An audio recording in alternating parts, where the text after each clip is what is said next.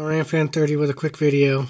Um, got a denial on the TTMs from Todd Worrell. Um, didn't sign a single card. I just, he opened it, he read the letter, I obviously, because he stuffed it back in the envelope I sent him and just sent it back to me with no autographs, nothing on the cards. No explanation, no I charge a certain amount, no letter, nothing. So Todd Worrell just, I guess he just can't sign for a fan, or will not. That's cool. There's plenty of others out there who will sign. Just letting you know, Todd Worrell was a failure. Did not sign.